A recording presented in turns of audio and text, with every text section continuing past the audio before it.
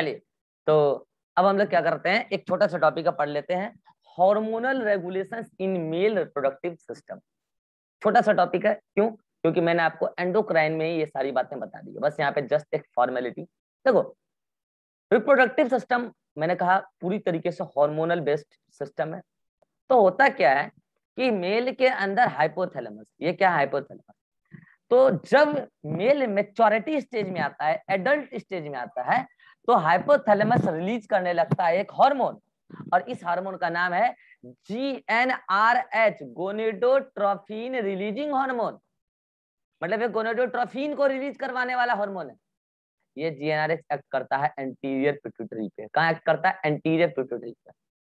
तब anterior pituitary release करता है गोनेडोट्रोफिन और गोनेडोट्रोफिन दो प्रकार का होता है, मैंने बताया। एक होता है एलएच एक होता है एफएसएच बताया कि नहीं बताया? एलएच और एफएसएच एलएच का नाम है ल्यूटेनाइजिंग हार्मोन और एफएसएच का नाम है फॉलिकुलर स्टिमुलेटिंग हार्मोन और मैंने कहा था, इसका नाम ऐसा क्यों पड़ा है इस चैप्टर में बताएँगे, आपको बताएँगे, रुक जाओ। और ये दोनों नाम फीमेल रिप्रोडक्टिव सिस्टम के अकॉर्डिंग पड़ा है फॉलिकुलर स्टिमुलेटिंग हार्मोन और एलएच फीमेल में बता रही अब समझो मेल में भी हार्मोन आता है, लेकिन मेल में क्या करता है? ये एलएच जब रिलीज़ हुआ तो ये एलएच जाएगा कहाँ, पता है?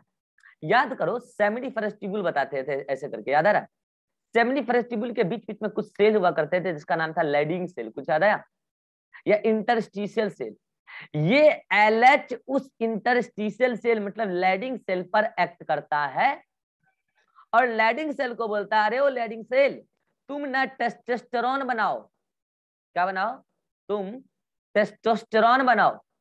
बोले, ठीक है टेस्टोस्टेरोन बना के क्या होगा? लो, मैं बना देता हूँ। तो ये टेस्टोस्टेरोन एस्पर्मेटोजेनेसिस के प्रोसेस को कंटिन्यू करेगा स्टार्ट करेगा। दूसरा मेल में सेकेंडरी सेक्सुअल कैरेक्टर बनवाने के लिए जिम्मेवार होगा। मेल में सेकेंडरी सेक्सुअल कैरेक्टर क्या? दाढ़ी मूछ, आवाज़ बोल्ड हो जाना, मांसपेशियाँ मज़बूत हो जाना मसल्स वगैरह स्ट्रांग हो जाना। ये सब कैरेक्टर किसका? मेल का। मेल का सेकेंडरी सेक्सुअल कैरेक्टर तो टेस्टेस्टोन का तो ये काम हो गया। ठीक है सर, समझ में आ गया। ये तो स्पर्मेटोजेनेसिस कराएगा। अब ये मत पूछ देना, सर, मेल में स्पर्मेटोजेनेसिस को कैसे रेगुलेट करता है टेस्टेस्टोन ये पढ़ोगे एमबीबीएस में? और अगर पढ़ना है तो मेरे से अलग से मिलना, पढ़ा दूँगा मैं। आपके लेवल का काम का नहीं है, ठीक है? तो बस ये समझो कि टेस्टेस्टेरॉन स्पर्मेटोजेनेसिस को स्टार्ट करवा देता है। अब आया एफएसएच एफएसएच भी आया। एफएसएच क्या किया? याद करो, इस सेमिनिफरस ट्यूबुल के अंदर मैं आपको दो टाइप के सेल बताता था। याद है? एक तो जर्मिनल क्यूबाइडल एपिथेलियम। और एक बोलता था मैं आपको, primordial sorry germinal cuboidal epithelium, एक बोलता था मैं सर्टोली सेल, याद आया? Sertoli cell. अरे ट्रांसफ़र सेक्शन में भी पढ़ाया था, सर्टोली सेल। तो ये एफएसएच एक्ट कर देगा जाके कहा? सर्टोली सेल पर। और सर्टोली सेल से ये एफएसएच एक्ट करने के बाद दो हार्मोन रिलीज़ होते हैं। एक तो रिलीज़ होता है एबीपी ये एक प्रकार का प्रोटीन है। और एक रिलीज़ होता है इनहिबीन क्या रिलीज़ होता है? इनहिबीन दोनों का क्या काम है? देखो, ये जो लेडिंग सेल है, ये तो टेस्टोस्टेरोन बना के कहा रिलीज़ कर रहा है? इंटरस्टिशियल फ्लूइड में. लेकिन स्पर्मेटोजेनेसिस तो कहाँ चलता है? सेमिनिफ्रेस्टिबुल के अंदर. तो अंदर में सर्टोली सेल एक प्रोटीन बना के रिलीज़ करती है, जिसका नाम है एंड्रोजन बाइंडिंग प्रोटीन और यह प्रोटीन फिर इस सेल मेम्ब्रेन को क्रॉस करके आता है इंटरस्टिशियल फ्लूइड में। और यहाँ पे ये androgen testosterone is example of androgen ये एंड्रोजन को बाइंड अप करती है और बाइंड अप करके फिर अंदर चली जाती है। यानी कि इंटरस्टिशियल फ्लूइड में जो भी एंड्रोजन बिखरा पड़ा है स्प्रेडेड है, उसको एक जगह कंसंट्रेट कर देना है। कहा? सेमिनिफरस ट्यूब्यूल के अंदर। ये काम किसका है? एबीपी का एंड्रोजन बाइंडिंग प्रोटीन का। और ये क्यों किया गया? क्योंकि स्पर्मेटोजेनेसिस तो चलना कहाँ है? सेमिनिफरस ट्यूब्यूल के अंदर। और एंड्रोजन कहाँ रिलीज़ हो रहा है? बाहर। इसलिए एबीपी रिलीज़ किया सर्टोली सेल क्लियर है? अब आते हैं इनिविन इनिविन क्या करता है? देखो, अगर स्पर्मेटोजेनेसिस एक्सेस होने लगेगा तो डेवलपिंग स्पर्मेटोजोआ को न्यूट्रिएंट देने का काम किसका है? सर्टोली सेल का ही काम है। तो सर्टोली सेल को समझ में आ जाएगा कि भाई कितने सारे स्पर्मेटोजोआ को हम न्यूट्रिएंट नहीं दे पाएँगे। तो वो रिलीज़ करने लगेगा इनहिबिन और इनहिबिन जाके निगेटिव फीडबैक दे देगा हाइपोथैलेमस को। और बोलेगा जीएनआरएस रोको। जीएनआरएस रुकेगा तो एलएचएफएच रुकेगा। ये काम है इनहिबिन का। इट ये इनहिबिन क्या करता है? ये अपने एक्स ये एफएसएच के एक्सेस प्रोडक्शन को रोकता है।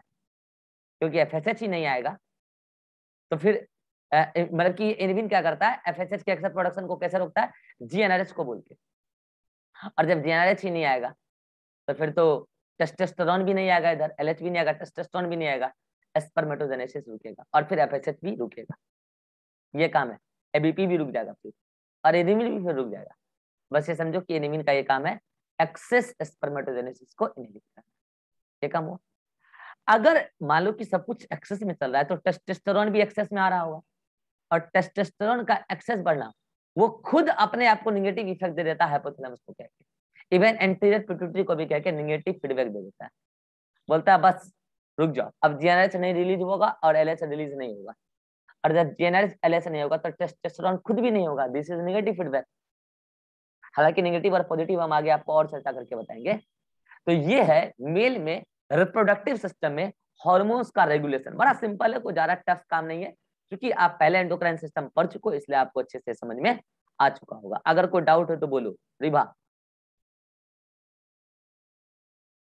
जल्दी बोलो। No sir Atiq sorry Atiq तो है नहीं अभिषेक।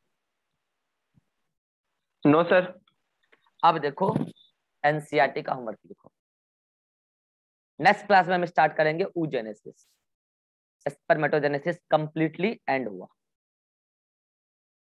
एनसीआरटी पेज नंबर 47 यहाँ से पढ़ना स्टार्ट करना। से पेज नंबर 48 यहाँ पर अगेन आज से हेडिंग 3.3 स्टार्टिंग से, यहाँ पर, कहाँ तक पढ़ लेना बता रहे हैं? ऊजेनेसिस कहीं पे लिखा होगा लाइनिंग में ऊजेनेसिस लिखा होगा सेकेंड लास्ट पैराग्राफ में ऊजेनेसिस के लाइन के ऊपर तक, के ऊपर तक। और इस पेज पे एक फिगर भी है स्पम का, वो देख लेना ध्यान से। ठीक है? चलिए, मिलते हैं नेक्स्ट क्लास में। Bye bye. Take care